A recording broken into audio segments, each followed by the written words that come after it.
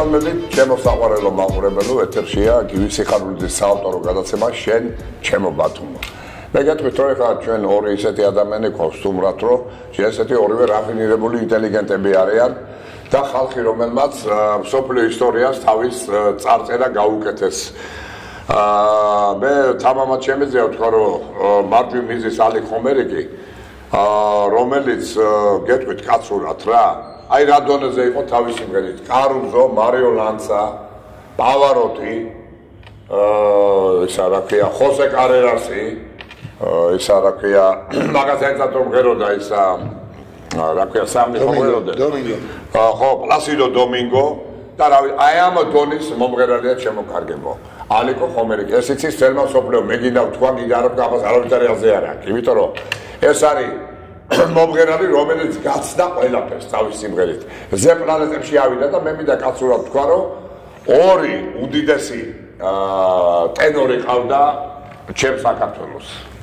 ეს იყო მისი უფროსი მეგობარი და გზის დავთმობი თვითონ დაუთმო და უთხარო იმის შემდეგ რაც მოусმინა მის აბესალომდა ეთერში ხო აბესალომში ხო უნდა გემღერა აბესალომის პარტია. უთხრა შენ ახარ ბიჭო ისო აბესალომე რომ უნდა იმღერო.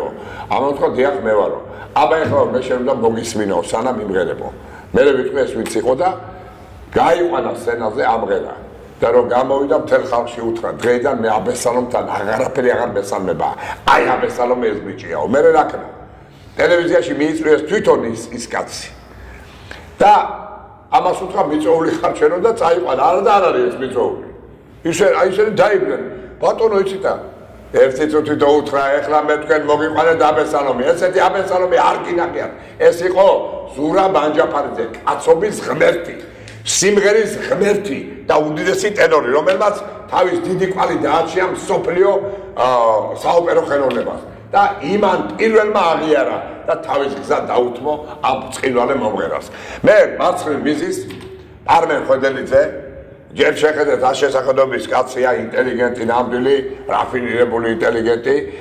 კაცი რომელიც არის უგანათლებულესი კაცი რომელიც აღიზარდა ზღვის ტალღებზე. აი სრული ამ სიტყვის მნიშვნელობით მე დავწერე ციგნი ლადო ათანელზე რომელსაც ქვია მოგოლებები ნოველებში გაცოცხლებული და იქ წერ რომ ზღვის ტალღებზე მეთქი, ზღვის ოკეანის ტალღებზე მიცურავდა მეთქი, მისი ნაბუკო, მისი ტოსკა, ხოსორივა და სხვა სხვა ისინი და აი ესე მინდა ვთქვა ახლა. ზღვის ტალღებზე გაზდილი ბიჭის ჩვენს მარცხენა მხარეს. და ამ ზღვის ტალღემა კი არ ჩაძირა აღმატებული გახადა მისი პიროვნება. ეხლა რა არის შენ ეს არის კაცი რომელიც 9 წლის განმავლობაში იყო ყველაზე დიდი ტანკერების კაპიტანი მრავალი ტანკერი გამოიცვალა მან და უნდა გითხრათ ჩემო მეგობრებო რომ ვინც ვინც ზღვას იცნობს იცის რომ ყველაზე საშიში გემის კაპიტანმა და გემზე მუშაობა საერთოდ აა დლა მატროსა მეზღვაურებისთვის არის ტანკერი იმიტომ რომ ყველგან შეიძლება გადარჩენ რამე რომ მოხდეს მაგრამ ტანკერზე რომ მოხდეს ცეცხლი და უბედურება იქ გადარჩენის შანსი არ აქვს. აი ესეთი ზღვის ლომი მიზის მარცხენა მხარეს კაცმა რომელმაც შემოერა მთელი სოფლიო 29 წელი იმუშავა საერთოდ გემებზე. სწავლიანად რო ავიღოთ. სხვადასხვა თანამდებობა ბოლოს რა თქმა უნდა კაპიტონი დაამთავრა ყველაფერი და დღეს ამ შერიერ კაც ჩვენს ბატონ პარმენს ხვედელიძეს ჩვენ სასიკადულოდ აქვს სასწავლებელი სადაც გამოდიან მეზღვაურები ბოცმანები მექანიკები ხოსორი ვარ გემის და რა ვიცი 1000 პროფესიის ხალხი სულ ყველაფერი ზღვასთან დაკავშირებული და გემებთან. და ამაყობს ეს კაცი იმით რომ შეძლო რომ თავისი ნიჭი თავისი გონება თავისი გამოცდილება ჩაედო ამ საქმეში და დღეს ეს ბავშვები საოცარ ხელოვნებას აზიარა. რა მაინტერესებს შეო ბატონო აა საერთოდ აი სხვასთან დაკავშირებით დღე დღევანდელობაში აი მითხარით. მე ვიცი რომ ადრე ძალიან გაფეთიშებული იყო ეს საქმე. მე მახსოვს კაჭარავა ესეთი აა ხო ხო იყო? ალექსანდრ ალექსეევიჩი ალექსანდრ ალექსეევიჩი მე მახსოვს რომ აა ძალიან დიდი გემის კაპიტანი იყო ქართველი კიდე ცნობილი ქართველი. და რა ვიცი უამრავი ქართველები იყო და ძალიან საერთოდ საზღვაო საზღვაოსნო ხელოვნება იყო ზეაღმატებული მაშინ. რა მაინტერესებს დღეს, რა დღეშია საზღვაოსნო, საერთოდ საზღვაოსნო საქმე საქართველოში. თქვენ ალბათ ხმელობაში გყავდეთ, ბატონო, იგივე ელიზბარ შაბანიძე გოგიტიძეს, დიდი კაპიტანი. დიახ, დიახ, დიახ. წეგანეს სიტყვა დაგაწიეთ. დიახ, ბატონო. როდესაც ვკითხულობთ საქართველოს საზღვაო ქვეყანაა. მინდა ჯერტი პირველში მივესალმები თქვენს მაყურებლებს. მინდა ცოტა განვმარტო ბატონოგივი იმის შესახებ, რომ აი როდესაც ვამბობთ ხოლმე და ვიცით ზოგჯერ ესე გამოთქმა შეიძლება წატრაბახებითაც რომ საქართველოს საზღვაო ქვეყანაა, ნამდვილად გეოგრაფიულად საზღვაო ქვეყანა ვართ. მაგრამ მისი მთლიანი განმარტებით და მისი ესეთი მთლიანი შეგნებით თუ კი გავითვალისწინებთ რომ საზღვაო ქვეყანა ეს უნდა იყოს საზღვაო ინდუსტრიის მატარებელი ქვეყანა აი აი თავარი რა არის საზღვაო ინდუსტრიის მატარებელი აი ეს რა საქმეში ჩვენ რა თქმა უნდა მოვიკოჭლებთ დღეისათვის ყოველ შემთხვევაში. ну თუ კი დავინტერესებთ ინდუსტრიაში უნდა შედიოდეს პირველში სა ნავსადგურები. თეაღვატონ ფლოტი. ფლოტილია. ფლოტი გემშენებელი და გემშესაკეთებელი ქარხნები და მასთან დაკავშირებული ინფრასტრუქტურა შემდეგ სასწავლებლები და მეზღვაურების გადამზადების სისტემები. და მასთან ერთად დაკავშირებული და ადმინისტრაციული რა თქმა უნდა ერთეულები. ადმინისტრაციული ერთეულები. აქედან ახლა რაც მე ჩამოვთვალე თითქმის არაფრის პატრონი არა ვარ ჩვენ. ჩვენ დაუმულვარ და ეგ არის. საქართველოსში არის სულ სამი ნავსადგური და ერთი სუფსის ტერმინალი. ავიღოთ, თქვათ, დავიწყოთ კულევიდან. ნავსადგური კულევი არის აზერბაიჯანელების. კერძოდ კულევი აზერბაიჯანელების. გაიყიდა მთლიანად. ფოთი გაცემულია ნახევარი საუკუნით არენდაში და ჰოლანდიელებს აქვს. ბათუმის ნავსადგური ასევე გაყიდულია ნახევარი საუკუნით და ყაზახებს აკაკეთე. ეხლა მსოფლიოში საერთოდ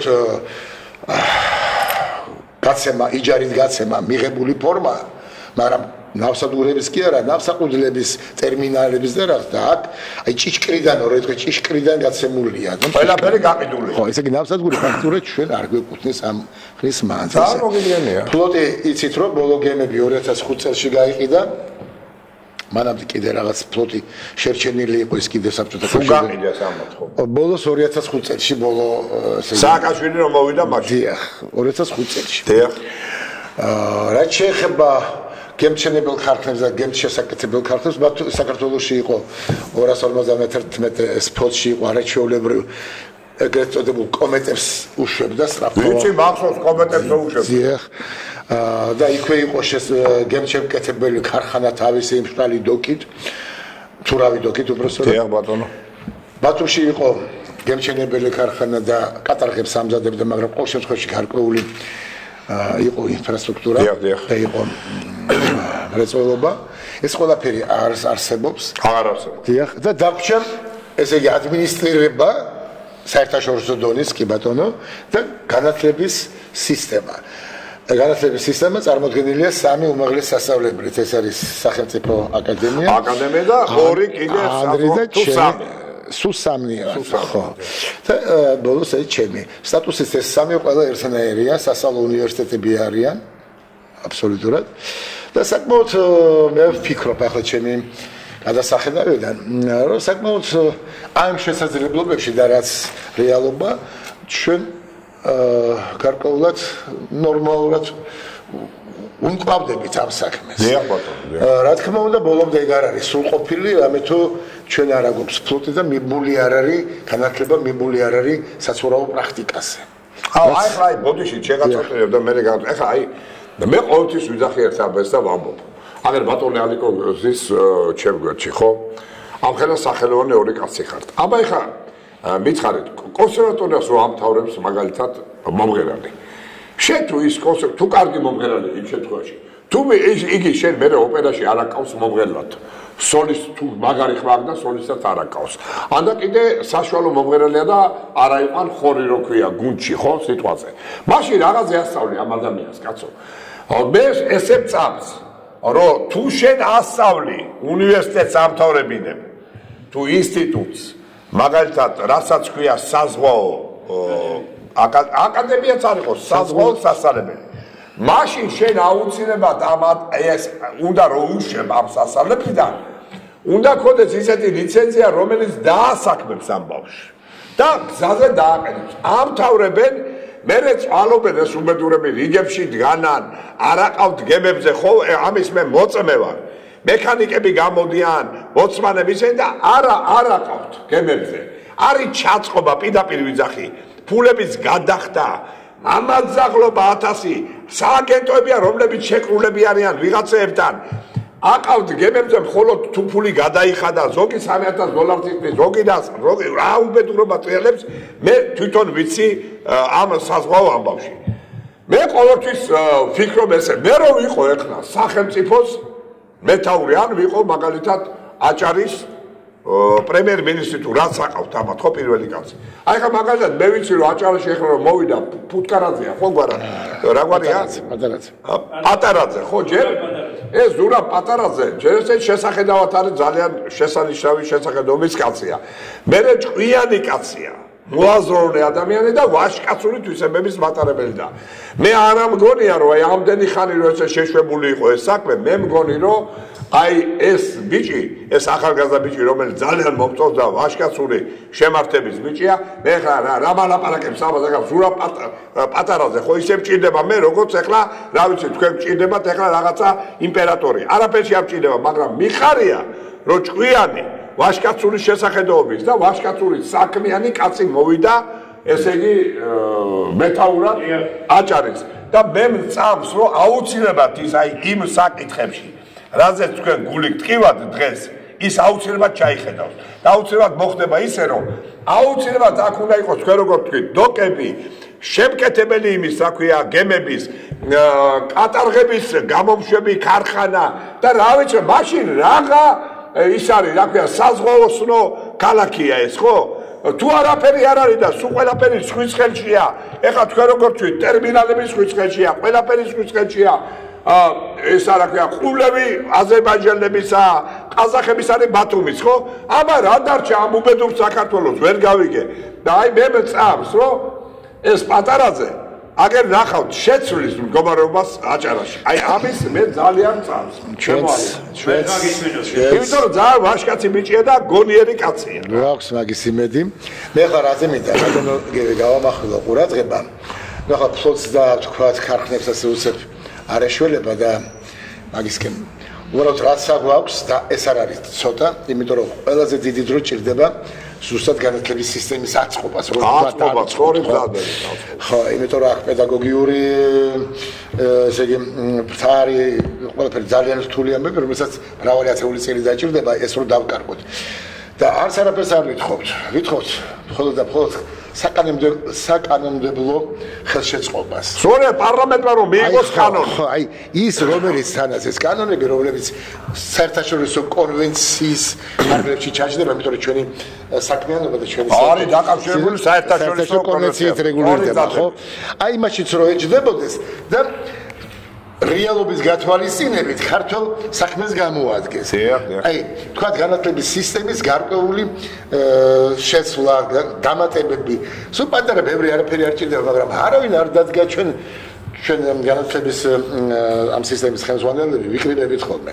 მიგვაქვს ეს აზრი, მაგრამ ბოლომდე ვერ მივიტანეთ. თქვენ კარგად ვზარეთ, ახლა ბატონო ზურაბის გვინდა ჩვენ დავაყენოთ ეს საკითხი. რაღაც საქართველოს მეზღვაურების 90 10%-ზე მეტი ბათუმში ცხოვრობს. გამოდის რომ ეს ეს პრობლემა ქალაქის პრობლემა ყოფილა. აბა რა, აბა რა არის პრობლემა? დიახ, ეს ქალაქი ცხოვრობს ფაქტობრივად ჩვენი მეზღვაურების აა ესე ვთქვათ ხარჯზე, ნუ განვითარება მიმდინარეობს და თუ კი ვთქვათ წლის მანძილზე დაახლოებით 800-850 ახალგაზრდა ეწყობა სამივე სასწავლებელში ერთად აღებული და იქედან გარკვეული რაოდენობა რა თქმა უნდა მე ეთიშება მომს ზოგი თავისი ბიტრო ვერძლებს ზოგიერთი თავისი უნარჩვეების გამო და რჩება.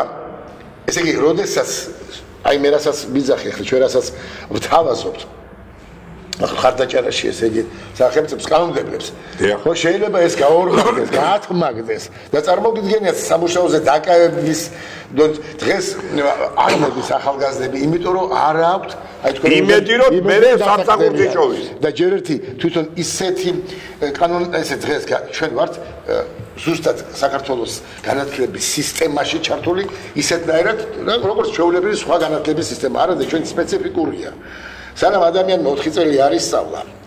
ესე იგი ბაკალავრის დონე არ დაამთავრა არ მიიღო ის კახალზე და გამოდის რომ მე არ ვარგა ის კაცი არც გემზე ვარგა არც აბარა თუ პრაქტიკა არ მიიღო იმ კაცმა მანამდე ესე იგი არ აქვს საშუალება და გავაკეთოთ შუალედურები არის საფეხურიანი სწავლება არის საქართველოსში დაუმატოთ ერთი საფეხური და გავაკეთოთ აა, დაბალი რანგის ოფიცერების ის ყველა ხო კაპიტანი ვერ გახდება მაგრამ- სწორი რა. ამას ყველაფერს სჭირდება ესეთი აა, მიდგომა აა, მრავალხიანი მრავალხეული მიდგომა რომ ყველანაირად ეს კანონები სხვადასხვანაირი იყოს. ოღონდ გამოადგენს რაც შეიძლება ჩვენს ქვეყანას. ქვეყანას და არ დავარღვიოთ საერთაშორისო კონვენცია. კაცო აი მე ახლა კიდევ ვთქვი რომ ეხლა რა შემჭირდება ხოლმე ისა ზურა პატარაზე ხო? მე რომელი ახლა 63 წლის კაცი ხდები და სამსახური მინდა მაგისგან აა ფულადი დახმარებას ველი თუ არაფერი არ მინდა მაგრამ მომწონს ეგ კაცი და მჯერა რომ ეგ კაცი საქმეს გააკეთებს. ამას ინებზე გამოდიოდი ტელევიზიით სანამ არჩევნები მოხდებოდა და ვთქვი რომ მე არავის არ ვაძლევ ხმას მეთქი. არც ოცნებას არც იმას აქვია რა ვინ არიან ესენი რა ქვია. ნაციონალები. რესპუბლიკა არავისი არ მჯერა მეთქი მაგრამ აჰა ხო მაგრამ შენ იცი ამას უსმინე ჩემო ალიკო და მე ვთქვი ესეთი რამ რომ 4 წელიწადში მეთქი ვერცეთი ადამიანი ვერ შეძებდა ამ ქვეყნის რაღაცა სასაულად გამოსწორებას უბედურება რაც რაც გჭირს ახლა შიმშილი ამას ვერ გამოასწორებ 4 წელიწადში. და ვთქვი რომ მე მეთქი ბიზინა ივანიშვილი არ ჩემი მეგობარი არაფერი თუ ვინმე მტერი მყავს ქვეყანაზე ყველა ბიზინა ივანიშვილის მეგობარია. მაგრამ ხალხო გეუნებით მეთქი რომ ჩვენ კიდე 4 წელიწადი უნდა ვაცადოთ ბიზინა ივანიშვილს რამე თუ ბიზინა ივანიშვილის ხელშია მეთქი საქართველოს გადარჩენის გაწაგები ეგრე არ არის ხა აიცი რა ამ 4 წელიწადში იმარ ვერაფერი ვერ გააკეთა და ამიტომ ის უნდა აღარ იყოს. როგორ არ გააკეთა ძმაო? ჩემი მეგობრების დედები და მამები საოპერაციო მაგიდებზე დარჩენ, იმიტომ რომ ფული ვერ გადაიხადეს.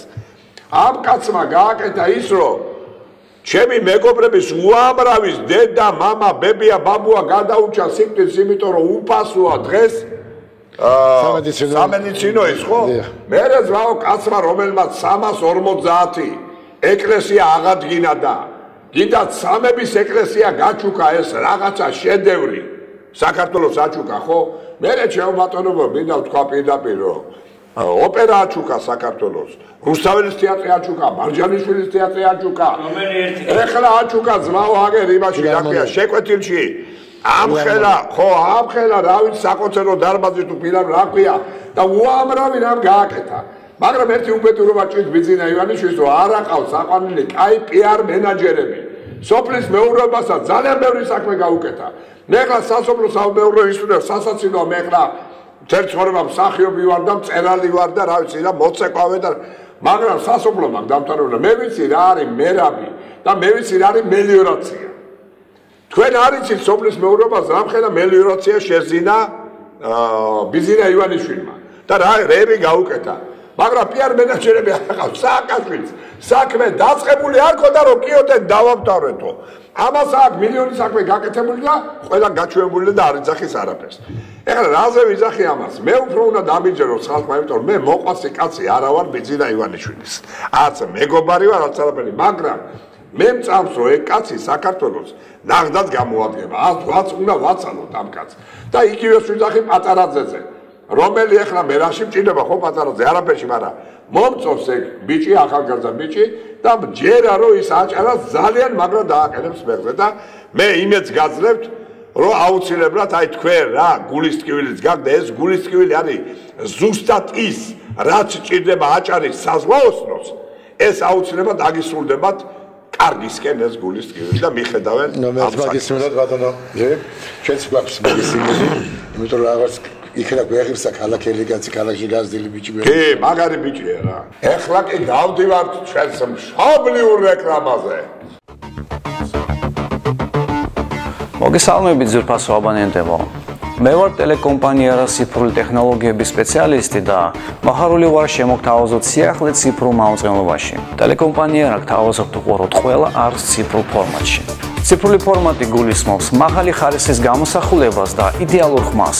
დღეს უკვე თქვენ შეგიძლიათ უყუროთ 200 სხვადასხვა თემატიკის არხს, მათ შორის საინფორმაციო გადაცემებს, ფილმებს, სპორტს, მუსიკას, საბავშვო და შემეცნებით არხებს Full HD ხარისხით. ასევე იხილავთ არხებს უცხო ენებზე. ციფრულ მაუწყებლობაზე გადასასვლელად საკმარისია დარეკოთ ნომერზე 577071104. ჩვენი ტექნიკური სპეციალისტები მოგემსახურებიან თქვენთვის სასურველ დროს.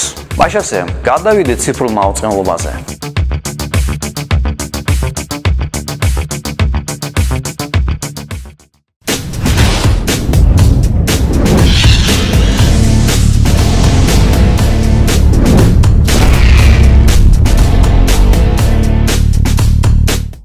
ბოდიბილდინგისა და ფიტნესის კლუბი კენტავრი დაარსდა 1991 წელს და ის მუდამ პირველია. გამოიყენეთ ორიგინალური წყარო ფიტნეს კლუბი რკინის ხასიათით. მხოლოდ ჩვენს დარბაზში თქვენ მოგემსახურებათ სამი სერტიფიცირებული ინსტრუქტორი ცალკე ანაზღაურების გარეშე. დარბაზი კონდიცირებულია. თანამედროვე აღჭურვილობა, სპორტული კვება, ყველაზე დაბალი ფასები აჭარაში. მუშაობთ 10-დან 22 საათამდე, ყოველ დღე კვირის გარდა. მისამართი გორგილაძის 91, მეორე სართული. დაგვიკავშირდით ნომერზე 574-56-46. ლივოს წვენები, ციტრუსის სხვადასხვა სახეობა, ალუბლის, ტყემლის, ატმის და ტომატის ნატურალური წვენი. არომატიზატორებისა და კონსერვანტების გარეშე.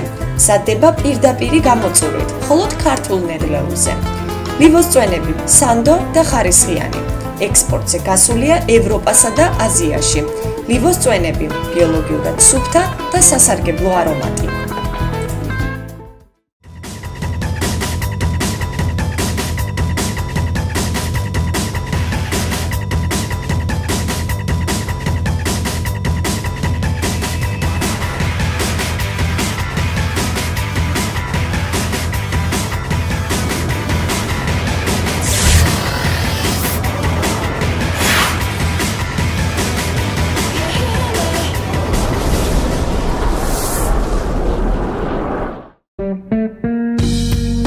უმაღლესი ხარისხის ალავერდის ტომატები და კეჩუპები. ფართო არჩევანი და ბიოლოგიურად სუფთა პროდუქცია ხელსაყრელ ფასად. სასარგებლო და გემრიელი ნაწარმი კავკასიური და ევროპული სუფრის დასამშვენებლად. თავისუფალია გენმოდიფიცირებული ორგანიზმებისგან. მზადდება სოჭში. ალავერდი. ეს საუკეთესო არჩევანია. თქვენ ეწებით და ვერ ამჩნევთ, როგორ უახლოვდებით საფრთხეებს. თქვენ ეწებით და გიმაღლდებათ არტერიული წნევა. ეწებით და ვიწროვდება სისხლძარღვები, ვითარდება ტრომბი. თქვენ ეწებით და ამით ინფარქტის მიღების რისკებს ორჯერ ზრდით. გაუფრთხილდით საკუთარ თავს, ნუ მოწევთ სიგარეტს.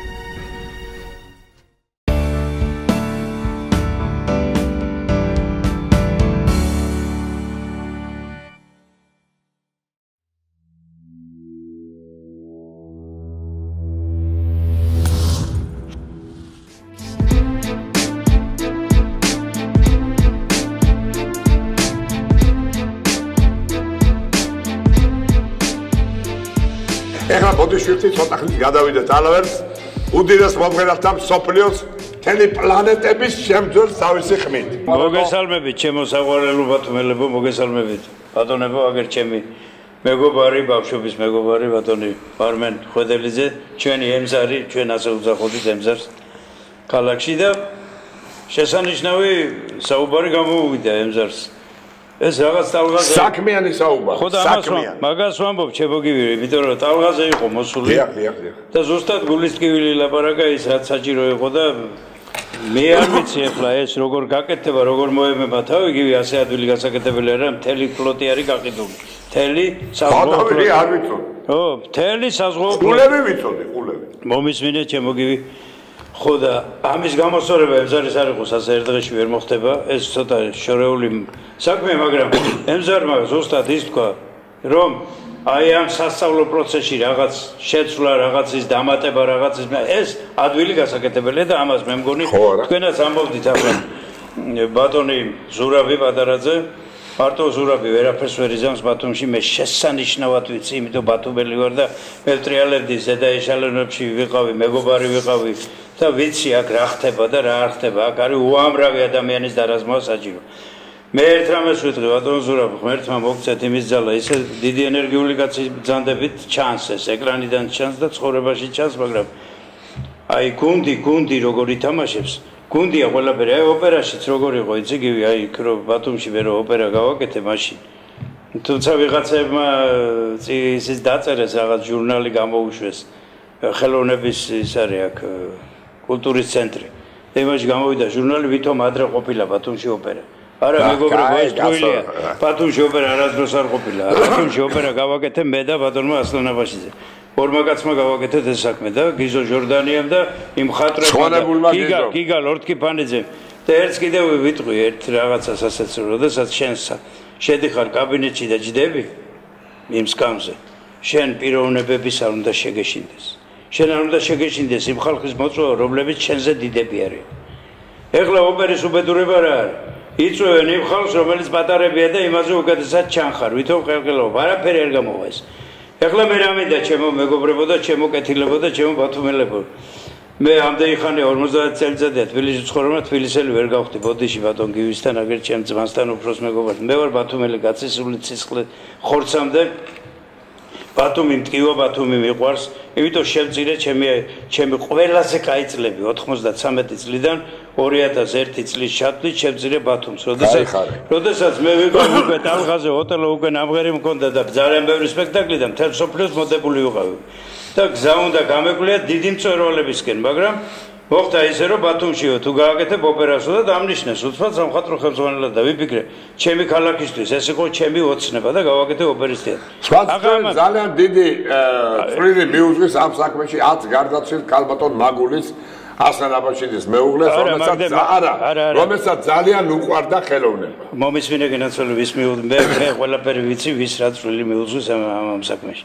მაგული მე რა ჩაერთო მაგ საქმეში ამაში ასლანს მიუძღვის ყველაზე დიდი წვრილი და მე რა თქმა უნდა მე და ჩემს მეგობრებს რომ გუნდი აი გუნდზე რატო ვლაპარაკობ ჩემო ემზარ? გუნდური თამაში რას ნიშნავს? გუნდური თამაში ნიშნავს იმას რომ რაც კი საუკეთესო საუკეთესოა საქართველოში ყველა გვერდით უნდა დაიღო ახლა ვინ დავიღენე მე გვერდით? გიზო ჟორდანი გიგა ლორთკიპაინც კოკა იგნატოვი მამია მალაზონია. სუ სუ ყველა რუსთაველის პრემიის ლაურეატები დავიღენე გვერდით. ბიჭო გიგა მითხრა ერთხელ ცხონებულმა აცხონოს მაგის სული ღმერთმა გუშინ დათათუთას ხეს უყურებდი და რა უნდა გაეკეთებია? კაც ამ კაც ამაზე მეტი რაც დათა დაგვიტოვა ჩვენ და დათათუთას შედა გიგა მითხრა არ გეშინია ბიჭო მე ხო იცი ცოტა ძნელი კაცი ვარ მე ვთხარი შიში რაშვაშია კაცო რა ვიცი ახლა მეჭხუბები მოგითმენ მე ვთხარი და პატარა ვარ. თქვენზე მე ვთხარი და რაღაცა. არა შენ გაქვს უფლება შენობით მელაპარაკო თქვენობით არ მომართო. გიგა გიზო ჟორდანია. რაც განსვენებული ახლა ახლა დავასაფრა საზე გადასარევი. გადასარევი გაც. ახლა რაშია ემზარ შენი გულის ტკივილი და ჩემი გულის ტკივილი. დავანებოთ თავი ოპერას, ოპერამ უამრავი ხალხი გამოზარდა და უამრავი ხალხი არის საზღვარგარეთ ადგილზე არის აქ. ისიც მღერის ირაკლი კახიძე, შესანიშნავი ტენორი, რომელიც ჩემი მოწაფეა და მღერის საზღვარგარეთ ჭაბუკა სურმანიძე აგერ. შესანიშნავი ახლა მარი მარი მარიამ ბერიძე აიყვანეს ოპერის თეატრში კონსულტაციებს უწევდი მე. დოდო ჯვარშეიშვილის მოწაფე. ხოდა რა პარტიასაც მიცემენ ეხლა მალე. და ბათუმში არის სულხან ჯაიანი შესანიშნავი ხმა. ეს ჩემი მოწაფე არ არის მართალი და არ ჩემთან მიუღია მაგას რამე ბათუმის ოპერაში. აა კიდევ არის აქ ჯახუტაშვილი აა ინგა ინგა ჯახუტაშვილი შესანიშნავი მეცობრან და უამრავი ბათუმის ხმები არის შესანიშნავი მაგრამ მე რას ვამბობ? თუ ვინმე გამომჩა დიდი ბოდიში ყველასთან. ბათუმის თეატრი როდესაც გაკეთდა ბათონ ასლანს მე უთხარი მაშინ. რომ თუ გინდათ რომ ოპერა შეინარჩუნოთ აქ უნდა გაიხსნას აუცილებლად კონსერვატორია რატომ? მეკითხე ეს ისეთი კაცი იყო თვილა აფესარი იცი ბემზარში თვილა აფესარი გაკეთებდა არც დაგიჯერებდა თუ არ შეამოწმებდა ათასნაირად. მეორე დღეს მიძახის და ოპერა სჭირდებაო მეოთხე სჭირდება. მაცალე ცოტა ხანსო იფიქრა იფიქრა და მოდი გავხსნათ. გავხსენით კონსერვატორია. გაიხსნა ჩემი თხოვნით ხელოვნების აკადემია. მე ხას უსვამ ეს იყო ჩემი თხოვნით. და პირველი რექტორები ჩემი დაინიშნა ესენი. აი გეუბნები თვალებში გიყურებთ ბატონო ყველა რექტორი დაინიშნა გავხსენით საბალეტო სკოლა. ხელოვნების აკადემია კონსერვატორია და გაიხსნა კიდე ისე რა ქვია საოპერო სტუდია. ეს ყველაფერი ჩემი დამსახურებაა იმიტომ ამ ოპერას ჭირდებოდა ეს. გავიხედეთ გადის ხანი ოპერის თეატრი გაქრა. კონსერვატორია გადაკეთდა რაღაც ფაკულტეტად. რატომ უნდა გადაკეთებულიყო ბათუმში როცა ზუგდიდიდან ჩამოდიოდნენ ოზურგეთიდან და ქუთაისის და ბათუმის კონსერვატორიის სასწავლებლად ეს ყველაფერი გაქრა აბსოლუტურად ხელოვნების აკადემია დარჩა მარტო და ხელოვნების აკადემიას და ესა დამოკიდებულობაში შეიყვანეს კონსერვატორიის ფაკულტეტი. საფაკულტეტო გახდა კონსერვატორია ბათუმზე უკეთესი ხმები საქართველოში არ არსებობს. არ არსებობს პიანისტები. უამრავი სიკეთე გქონდა აქ ჩვენ. ეს ყველაფერი წაშალეს. ახლა რა შეიძლება ოპერის თეატრს. ოპერის თეატრი ბათუმში იყო როგორი?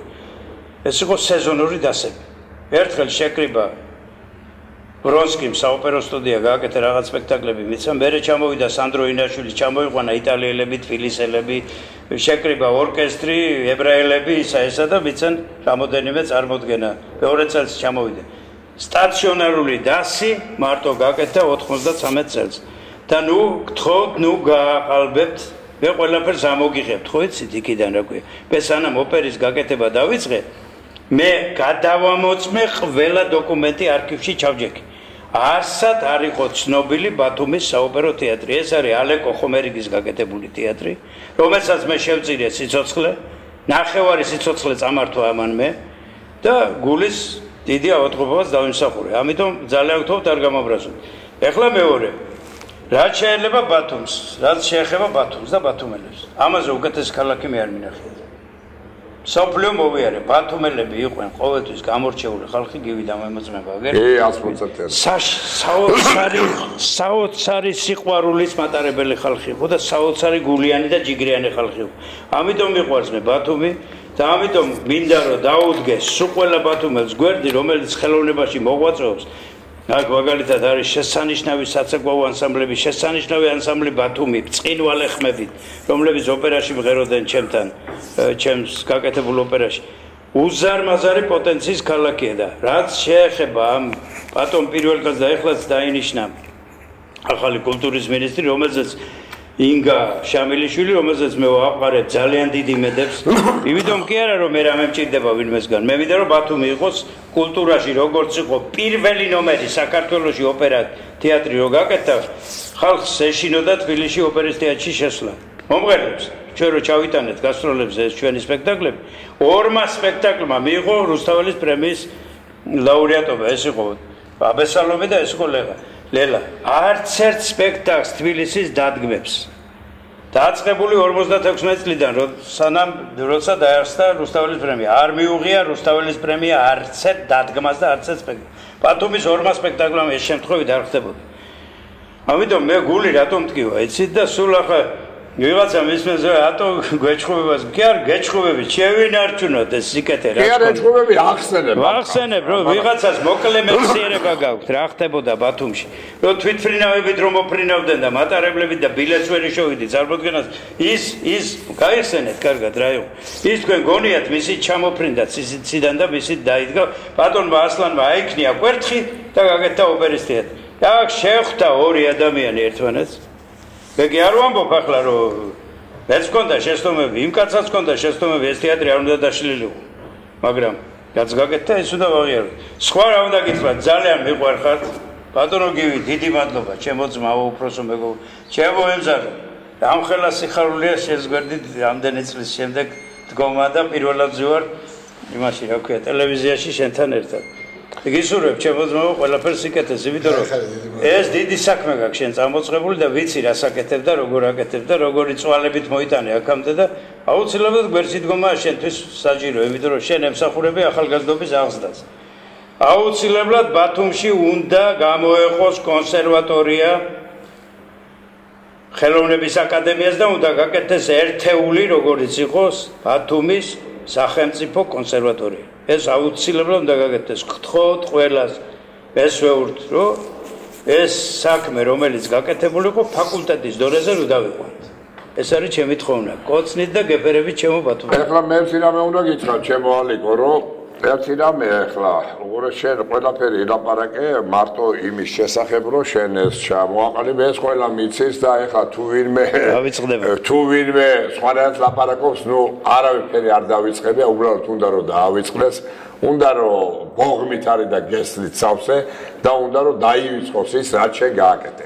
მე ახლა ეს ამას გეტყვი შენი კაცობა იმაში ჩანს რომ მე ვიცი რომ შენ აქედან ასანაბაშიძეზე ნაწყენი წახვედი მაგრამ ხედავ რა ყველა დიდი კაცი ხარ რომ როცა ლაპარაკობ იმაზე, რასაც ქვია ხელოვნება, რასაც ქვია ოპერის დაცვის შექმნა, იძახი რომ ასრამა და მე შევქმენი თო კი არ იძახი რომ მე გავაკეთე და არავინ გვერდში არ მედგა. არა, კაცო, ამას არ იძახი. ვიღაცა მაგალითად ასანს არ ახსენებდა. შენ კაცური კაცი ხარ და ნაცხენ კაცზე რომელზეც დაწყენი წახვედი აქედან. იძახი რომ ძალიან მაგარი იყო და ძალიან უყვარდა მას ხელოვნება და ძალიან უყვარდა ოპერა და ვერ ყავს ვერ გავაკეთებ. მაშინ ვერ გააკეთებდი ვერაფერს. ძალიან კარგია და ეს კიდევ ერთხელ დაუნახავი კაცის? კი კი კი. ყოფა არის კიდევ ერთხელ მეტყველებ შენ კაცურ თვისებებზე. მე მე შენ არაფერი არ თქვი რაზე. იცი მე ძალიან თხოვრო შენ ორი სიტყვი თქვა იმაზე რომ მე ვიცი რომ შენ როცა ლასკალაში იყავი ლასკალაში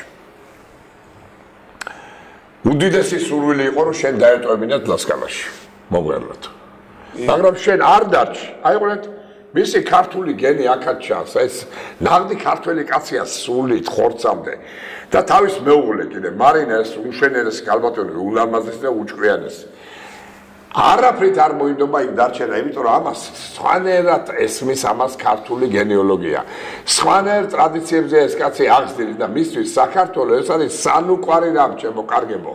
სანუკვართა შორის უსანუკვარლესი არის მისთვის საქართველოს ქართული გენი, ქართული გენეალოგია, ტრადიციები. ოჯახს ძალიან დიდი მნიშვნელობა აქვს, იცით როგორ არის მე მყავს მეგობრები, რომელსაც თავის სახში მაპატიონ რა. დიდარი ხალხია, მაგრამ სახში შესვლა აღარ უნდათ რა. იმიტომ რომ ისეთი სიტუაცია ხდება სახში რომ სახლისკენ გახედვა არ უნდა და რესტორნებით ამთავრებენ ღამის პირველ საათზე რომ მიდიან უბრალოდ წვებიან და დილას გამორბიან.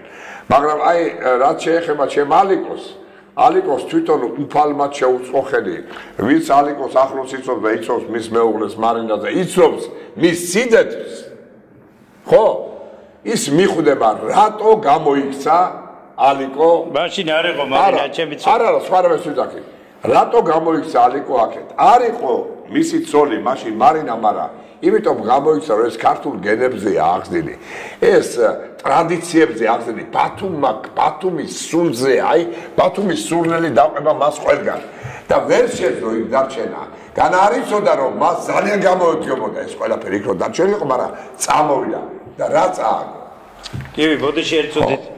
რა შეესაქმე იცით ადამიანებს ზოგ შეუძლია დარჩენა მაგალითად ემზარ შემოგი მეც არ შემოგი 80% შეიძლება შეუძლია დარჩენა მაგრამ ბიჭო ყველა რო გარეთ წავიდეთ გასა ახლა თეატრი მე რო არ ჩამოსულიყავი თბილისის ოპერის თეატრი თეატრი უტენორი ჩემო ტენორი არის. აბა და რეპერტუარი აღარ გავიდოდა რა ტენორი არის. ახალგაზრდა ტენორი არისო რომელიც გაწევდა ანჯაფარიძის მაგირობას რომელიც შეეშველებოდა ნოდარანტყულაძეს გამიგეთ. არისო ტენორი ამანაც იმოქმე მე მე ახლა ცოდვა გამხელილი ჯობია. მე უზარმაზარი სიყვარულით წავედი აქედან. ერთმა რუსმა ბიჭმა მითხრა პოპოვი იყო ასეთი მე მეტროპოლიტენში ჩემს გზაზე წავიდა ის. მე რომ მომისმინეს მე უთხარი მე ვერ წამოვალ მეთქი ვერ დავრჩები უნდა დავრჩენილიყავი რა. მე ვერ დავრჩები მეთქი მაგრამ ერთი გაიდანორია მეთქი და იმას მოგას მართლა მაგარი აი როგორი იცით ბრილიანტი ხმა ქონდა და მოასმენი რა წაიყვანეს ის და ის პოპოვი მეუბნებოდა რატო არ მედიხარო და მეუთხარი მე არ შემიძლია საქართველოს გარეშე. ამის სენი რას ნიშნავს? წარმოგიდგენია მეუთხარი ვიფიქრე ერთი ღამე მომეცი მეთი ნუ პირდა როგორ უთხრა ახლა სამშობლო მეყვარს ყველას უყვარს სამშობლოც ეგრე როგორ უთხრა? და დილას უცხო გამახსენდა წერილები დავინახე მოსული წერილები მეუთხარი ვალოძა მეუთხარი რამდენი წერილი მიიღე მე სამივე ერთიო დედამ გამომიგზავნო ერთიო ძმამო მესამეო საცოლები. აბა შეხედე მეთქი და 120 წელი. მარილას წერილები? არა, არა. სხვა ყავდა. 120 ო, წელი. 120 წერილი. ვერიკო ანჯაფარიძის წერილის მქონდა. არ გადამრიგა. და სპეციალ და ხალხი მელოდებოდა, როდის ჩამოხვალ ალეკო და თუ გადაყრი შენ ხმას და ამ სიყვარულმა ბიჭო, როდესაც შენ უყვარ ხარ ხალხს. როგორ ფიქრობ ბატონო გივი? ახლა პატარას გავიგეკლუცე. სურიგო ანჯაფარიძის შემდეგ ხალხის სიყვარულის დამსახურება აუ, ეს არის საოცრება. ეს იყო ღმერთი. ეს იყო ღმერთი ხელთუქმნელი ტაძარი აბა, იყო. აბა, სურიგო აბა. ანჯაფარიძე და შემოვიდა ვიღაც ბათუმელი ბიჭი და ზურიგომ თქვა მე აწე აბესალომს აღარ ვიმღერებ და მთელი რეპერტუარი შენ იყოს და ზურიგომ გზად ამითმო. რა ვარი დასათმობია? 47 წლის კაცი იყო. მაშინ 47 იყო, 47 წლის ოტელო ვიმღერე მე კაცო და მე მთელი ბათუმის თეატრი გავაკეთე. და მე ვღეროდი ყველაფერს. რა ვარი დასა მაგრამ აი ეს სიყვარული, როდესაც არსებობს, ეს კიდე სხვა, იცოდი. 100%-იანი. სიყვარული, როდესაც შენ ხალხში მიდიო მაშინ ისეთი დრო იყო, რომ ერთი ტელევიზია იყო და ერთი მეორე არხი. პირველი არხი. მეორე არხი შემოვიდა, ყველა მცრობდა ქუჩაში, ალეკომოდის, ალეკომოდის, ალეკომოდის. ნუ ახლა არაფერს არ მომობ, ისეც რომ თერმა ბათუმბაიცის და ბათუმი რა შუაშია ხდება პრობლემის. ხო და ალეკომოდის რა ვარი დასათმობია ეს წასვლა სადღაც ფულზე იმუშო, ვერაფერი ფული. ვერ არ სიყვარულს ვერ შეცვლის. როგორც ცოლის სიყვარული გაქვს, როგორც ჩვილების სიყვარული გაქვს. ასპორტა. სხვა რო ვერ შეცვლის ამას, ისე ვერ შეცვლის შენ ხალხს. გეტყვი მაგარ რაღაცას, ალიკო. აი, ამიტომ სოფიშვილის ანსამბლში ცეკვავ და ავსტრალია ახალ ზელანდიაში წავედით. და გემით, გემით შევედით. და რას ვხედავ? ბიჭო, მე ვიფიქრე ხო არ მელანდება და ხო არ მეჩვენება. უკრაინელები, სამსია, მელბურნი, სიდნეი. ესე იგი ამ იმებით, უკრაინელებით. და მოვიდნენ ბიჭო და საბჭოთა გემს. განა ხალხს, ბიჭო. გემს კოცნიდან. მე გეტყვი რომ მე პირველად ვახე რა არ მენახა და აი ხედავ ნოსტალგია რა არის, აი მიწის სურნელი მაინც რა არის. წავიდნენ, გაიქცენ მაშინ როცა ეს კომუნისტები შემოვიდნენ, მიატოვეს და თავს უშველეს, დახრიტავდნენ. მაგრამ ხედავ რა რა რა სხვანაირი რაღაცა. სხვანაირი რაღაც არის ეს ნოსტალგია და სიყვარული შენი სამშობლო. როდესაც შენ ზუსტად ის ჩება ის ხალხი, მეორე ხალხი მინახია ასეთი. სხვათა შორის აა, ბატონო ჩემო აა შემდეგ ჩვენ გურამ ბაკურაძეც იყო მაშინ გურამ ბაკ- ბაკურიძეც იყო ჩემთან ერთად მოსე აა იმაში რა ქვია ამ- ამ მოგზაურობაში ჩვენ ვიყავით ლათინურ ამერიკის ქვეყნებში 6 თვე. და არგენტინაში არგენტინაში ვიყავი პერუში ურუგვაიში პარაგვაიში სალვადორში ეკვატორში კუბაში ჩილე ბრაზილია მექსიკა რა ვიცი. 6 თვე ვიყავი და როშ ჩამოვედი და მკითხეს რომ მაინც რომელი მოგეწონა ყველაზე მე ვთქვი რომ ბუენოს აირესი არგენტინა მომეწონა ყველაზე მეტად. მეთქი აბა თქვენ ბძანეთ ახლა. არა წეგან იმის თაობაზე რომ ეს ემიგრანტები რომ ხდებოდნენ დიახ დიახ გემს საბჭოთა გემს არგენტინაშიც ყოფილა ეს. ნუ ბევრ ქვეყანაში შევხვედრია უმეტესად ეს მეორე მსოფლიო ომის დროს დასულებ წასულებს ვლასოვის ვთქვათ არმიიდან. დიახ მაშინ ახალგაზრდა სამხედრო ვიცი იქ შეაფარეს თავი. ნუ რომლებიც ფაქტიურად არა მოხდნენ დასავლეთის ზონაში მოხდნენ და დასავლეთის ზონაზე იმათ მე წავიდა აქ რა თქმა უნდა ემუქრებოდათ კი დაბრიტავდნენ დიახ და არა და ახალგაზრდა ბიჭები გაგებაში არც იყვნენ ისე მოხდნენ ამ ყველაფერში. ნარები და რეკითხებოდა ის არმიას აწავიდოდა.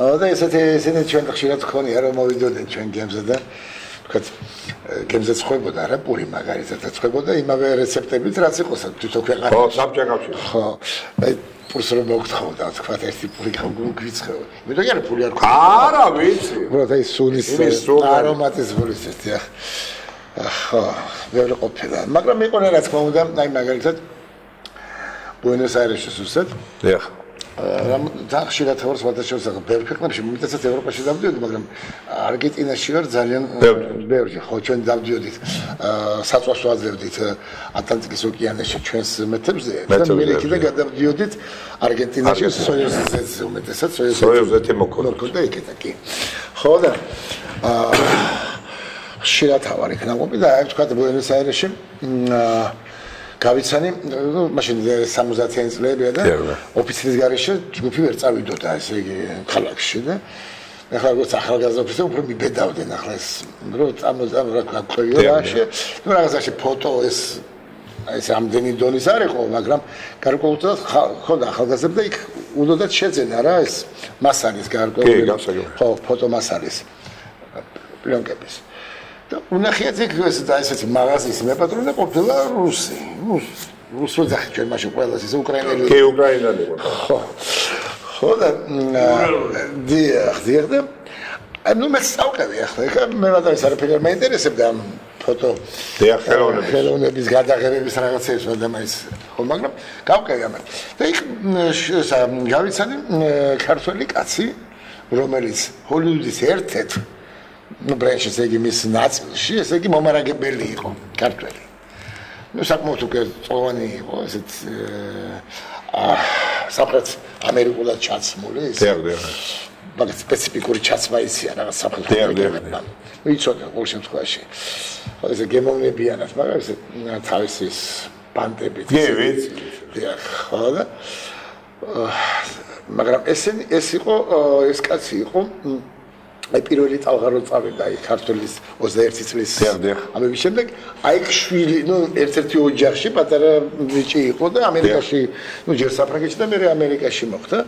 ფოტოშოპი ძალიან დიდი ესეთი ყურადღება გამოიჩინა გემზე რაღაცები ვისაც რაღაცა კი კი დაურიგა რაღაცები მოკლედ იყვნენ რა თქმა უნდა შეხედე ბევრი ხო წლების მანძილზე მე მავიწდება პატარა კი კი ვიცი რა ბევრი იყო ესეთი ბევრი იყო შემოგდებულებიც იყო შეიძლება ძალიან ბევრი სახელი და გვარები გამოვჩეს მაგრამ არ მინდა გამოტო ბაჭუკი ნაკაშიძე შესანიშნავი ბარიტონი რომელიც მღერის საზღვარგარეთ სხვადასხვა სცენებზე ირაკლისთან ერთად და ბათუმში არის მართლაც ისეთი ხმები ახლა აბესალომის გაკეთება მინდოდა არ დამცალდა რატომღაც არ მომწეს მაგის უფლება, მაგრამ ესე იგი 18 კაცი ახალგაზრდა მოამზადე ისეთი, ორი წელი ვამზადები, რომ თბილისის ოპერას შეშურდება ისეთი ხმები აქვს.